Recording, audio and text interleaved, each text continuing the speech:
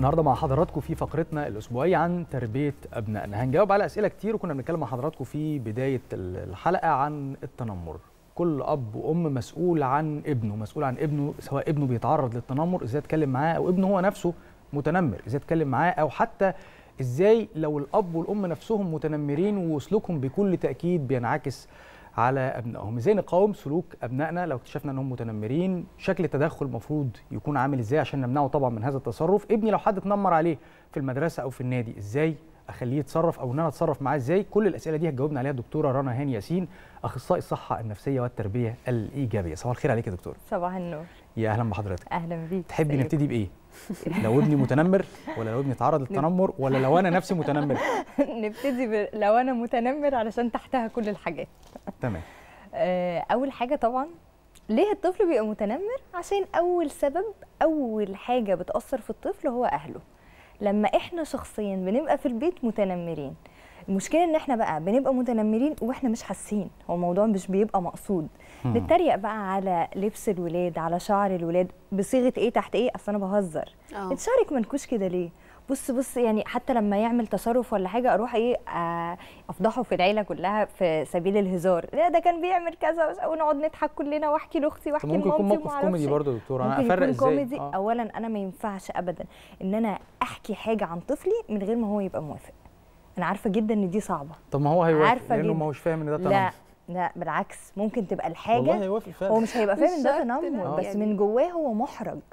هو لو موقف بيحرجه أو بالنسبة له حاجة تكسف أو مش عايز حد يعرفه يبقى أنا لازم أحترم ممكن ده. أحكي لو موقف حركة عملها هي بتضحك حاجة أغنية بتضحك بس مثلا إنه طفل يعني مثلا هقول لكم على مثال لسه قريب جدا جاي لي.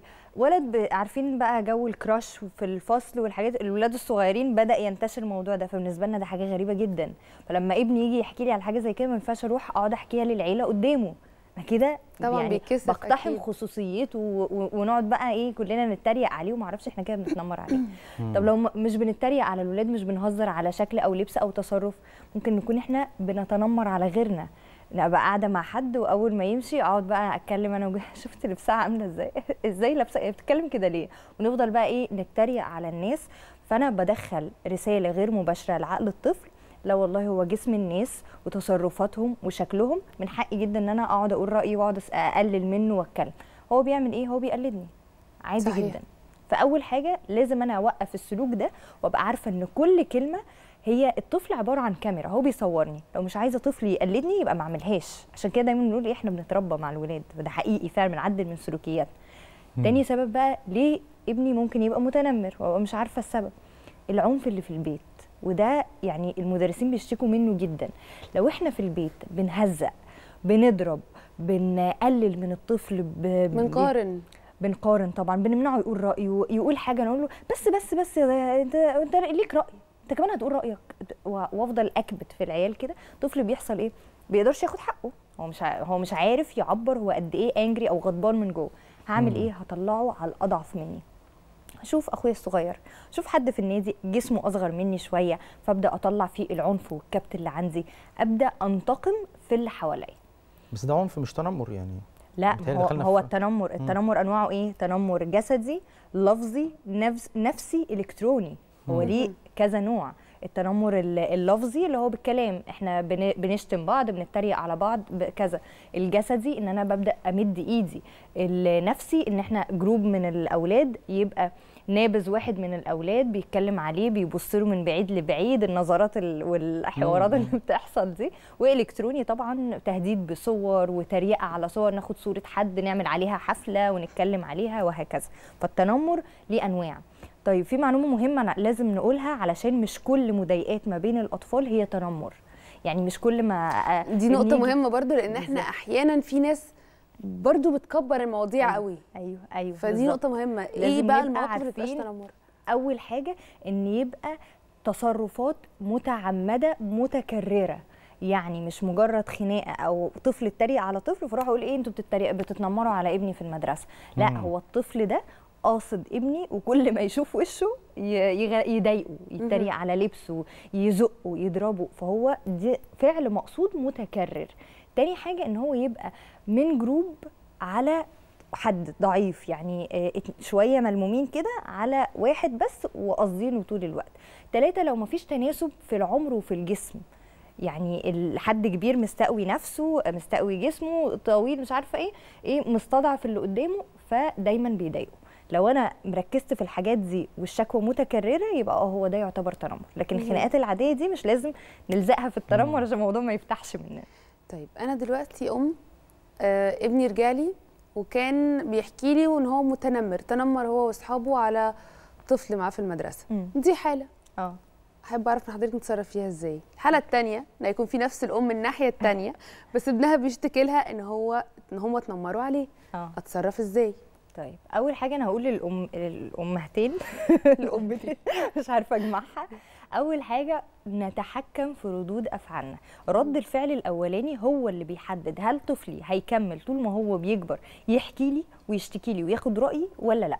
يعني الأم الأولى لو أنا معترضة على التنمر ما ينفعش أقول له إيه؟ إزاي تعمل كده؟ ده أنت قليل الأدب. تصدق بقى أنا هروح المدرسة هقول لهم خليك تعتذر قدام الكلاس كله مش عارفة إيه عشان أنا بربي. يعني طبعا في أمهات حبايبي يعني بيبقوا رافضين فعلا. خالص بس رد فعلنا هيخلي الطفل يخاف وما يحكيليش. الناحية التانية الأم اللي ابنها جاي يشتكي لها يا نهار أبيض! إزاي ده يحصل فيك؟ وأنت إزاي سكت؟ عارف يعني يا إما تزعله تقول عارف لو ما خدتش حقك أنا هعمل فيك إيه؟ أو أتعاطف بزيادة قوي وأقول له أنا هروح أقلب المدرسة أنا ما أسمحش إن ده يحصل. كل الافواره دي بتخلي الطفل يحس إن في حاجة غلط يا إما غلط فيه يا إما غلط في بابا وماما فأنا مش هحكي لهم. فانا لازم آخد نفس عميق. مهما كانت القصة مخيفة بالنسبة لها لو ابني متنمر أو آه، آه، بيتم التنمر عليه وإيه أبقى هادية جدا أقول له احكي لي كمان. طب وحسيت بإيه؟ طيب لو أنا ابني اللي بيتنمر. امم طب أنت متخيل صاحبك لما قلت له كده لما ضحكت عليه والكلاس كله ضحك على الجملة اللي أنت قلتها هو حس بإيه؟ يا مامي أنا كنت بهزر. لا أنا بسألك عن مشاعره. قول لي اسم شعور. هو حس بإيه؟ حاسس إنه محرج؟ حاسس إنه غضبان؟ ولا حاسس إنه اتس فاني مثلا حاجة لذيذة. هيقول لي آه دي حاجة لذيذة هو ضحك على فكرة. آه آه، حاجة لذيذة. أقول له ليه هو ضحك؟ طب هو لو ضحك مش ممكن يكون مكسوف؟ طب إيه رأيك تسأله؟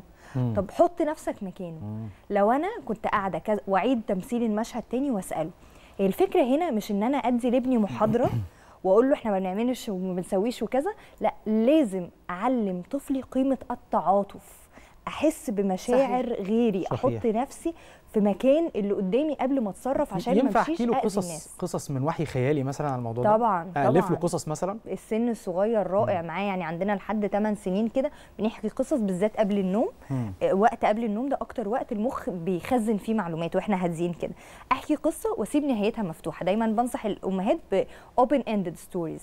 لا نهاية عايزين مفتوحة. النهاية. لا ما نساله بقى ليه؟ آه. آه. هو الفكرة إن عقل الطفل بي بيخزن معلومات أكتر لما هو بيعمل processing للمشهد ويطلع الحلول. من غير ما أنا أقعد أدي الحلول على طبق فضه هينساها. مم. فأقول له أنت ممكن تعمل إيه في الموقف ده؟ طب الموقف ده صح ولا غلط؟ طيب لو غلط ممكن نتصرف إزاي؟ هتلاقوا الأطفال لما نعمل معاهم كده هتلاقوا على طول إيه جات لهم قصة قديمة حصلت شافوها قبل كده بيقول أيوه على فكرة هو حصل في ال class كده عندي. حصل في النادي. هيبدأ يفتكر حتى لو ما بيحكيليش دي هتفيدني إن هو يحكي لي وهوصل له المعلومة بطريقة إيه لطيفة. فده بالنسبة للطفل المتنمر. بعد كده آه، أحط ال rules نتكلم بقى أحط ال rules في التعامل ما بين الناس. وطبعا لازم في الآخر بقى أخليه يصلح غلطه.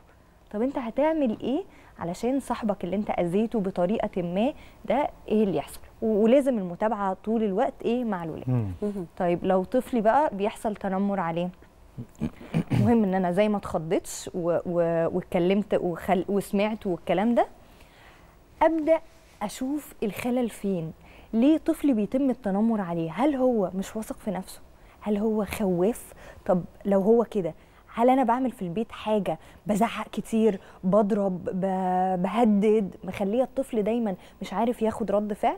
لو أنا بعمل كده يبقى هبطل أعمل كده وأبدأ أشتغل على نفسي. طب لو أنا ما بعملش كده أشوف الديفكت فين؟ هل هو مثلا آه، حجمه صغير أو ما عندوش سرعة بديهة.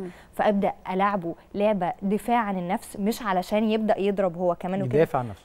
يبقى. عنده الثقه الكافيه إن هو يقدر أيوة. مش ضعيف. الطفل اللي بيتم التنمر عليه مشكلته إن هو ما عندوش الثقة الكافية إنه إن أنا هقدر أوقف التنمر ده. لازم يبقى أعرفه إن هو أمثل معاه في البيت أمثل المشهد تاني معاه في البيت ونعكس الأدوار واعلمه إزاي يبقى فارد ظهره باصص للي قدامه في عينه وبيرد وبيوقف التنمر ده. حتى لو تنمر لفظي بس مش جسدي أنا مش موافق على اللي انت بتعمله ده. لو عملت كذا تاني أنا هروح اشتكي بالطريقة الفلانية. يعني لازم اقدم له حلول على حسب الموقف وابقى معرفاه ان أنا في ظهره. طيب في امهات كتير بتجري تحل المشكلة. ابني مجرد ما قال لي مشكلة أنا جريت على على المدرسة قلبت الدنيا وعملت مشكلة والعيال عرفت كلها وبقى معروف إن الطفل ده مامته بتيجي وتحل له. مهم إن أنا قبل ما أتدخل أسأل الطفل. حتى لو الطفل ده في كيجي أنا ابني اللي عنده أربع سنين لما بيجي يشتكي لي بستأذنه إن أنا هل تحب إن أنا أقول للميس مثلا إن أنا أتدخل؟ ولا أنت تقول لها؟ ولا أنت تقول لها؟ طب لو أنت هتقول لها هتقول لها إزاي؟ هنتكلم إزاي؟ طب قول لي كده ممكن تقولي إزاي عشان اتأكد ان هو قدر يعبر عن نفسه بطريقة صح. وافق ان أنا اتدخل يبقى اتدخل. ما وافقش ان أنا اتدخل لازم امرنه كفاية. ونحكي قصص مش ممكن يكون مش موافق. عشان خايف؟ طبعا ممكن يكون طبعا ممكن يكون خايف من إن هو الولاد بقى تستلمه بعد كده. فعلشان كده أنا ده لازم تنمر تاني ده كده زود عليه. علشان كده قبل ما بنوصل للحل لازم أعرف إيه السبب. ممكن يكون ابني زي الفل ما فيهوش أي مشكلة بس الطفل التاني هو اللي محتاج تعديل لسلوكه ده ومحتاج الشغل عليه ساعتها أنا هتدخل وهتابع مع المدرسة وهبقى معرفة مم. طفلي إن أنا في ظهره وإن المشكلة مش فيه دايما الطفل لما بيتعرض لأي نوع من أنواع المضايقات لازم يبقى عارف أنا المشكلة مش فيا مش يعني ما يصدقش أشتغل على إنه ما يصدقش كلامهم. طيب أنا ابني بيتعرض للتنمر لكنه ما بيحكيش هل آه. في شواهد أو حاجة أعرف من خلالها إن هو عنده مشكلة ما في المدرسة أو بيتعرض للتنمر؟ أيوه لو هو بيتعرض للتنمر بصفة مستمرة هن هنلاحظ بقى فجأة إن هو بطل يحب يروح المدرسة بدأ ينعزل عن النشاطات الاجتماعية لو في خروجة مثلا مع أصحابه أو كده بدأ بقى إيه ينسحب أنا مش عايز أخرج أنا مش عايز آه، مع إن حاجة مثلا بيحبها جدا واستحالة يفوتها بقى يفضل يقعد في في أوضته كتير. بدأت ألاحظ عليه ده في المراحل المتطورة علامات حزن طول الوقت عياط طول الوقت عدوانية في البيت بيطلعها في البيت عصبية زيادة بدأ يضرب إخواته. بنتطور بقى إن هو ممكن يرجع يعمل toilet على نفسه ممكن الرسومات بتاعته يبان عليها بعض العنف. كل دي شواهد إن طفلي فيه حاجة مش مظبوطة في حاجة أنا مش عارفاها. مهم إن أنا أبقى متابعة طول الوقت وأستخدم المواقف الحياتية. هو مش لازم الطفل يحكي بإن هو عملت إيه في المدرسة النهارده فيقعد يكر لي اليوم بتاع المدرسة.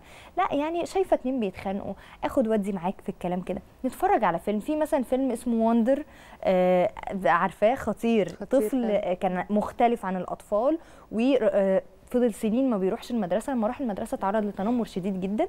ده من الأفلام الرائعة إن صحيح. الأطفال تتفرج عليها للتنمر.